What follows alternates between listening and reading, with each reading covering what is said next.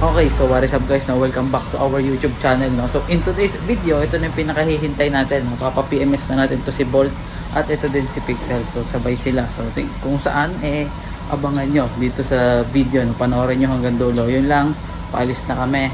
Let's go!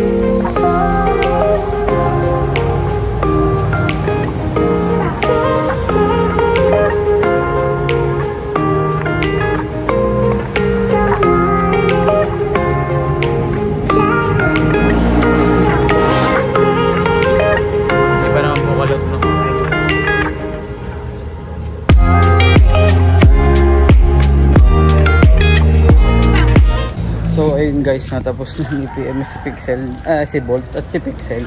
No, hindi ko na naipakita yung buong proseso pero nag-change oil, nag-tire rotation, nagpalit ng spark plugs, tapos syempre oil filter, nilinis ang air filter. Yun, yun ang mga ginawa sa kanya, no. So mamaya pakita ko sa inyo sa bahay yung mga pinagpalitan, mga inalis, no. Tapos ayan. Yan sila si Bolt, ay si Pixel nandun pa sa loob ng car wash. Ah, libre naman yan dito sa Rapid Santo Tomas. So ang gumawa sa aming sasakyan ay si Kuya Jun at si Kuya Ryan, no? So yun lang. Mamaya kita ulit. Bye-bye.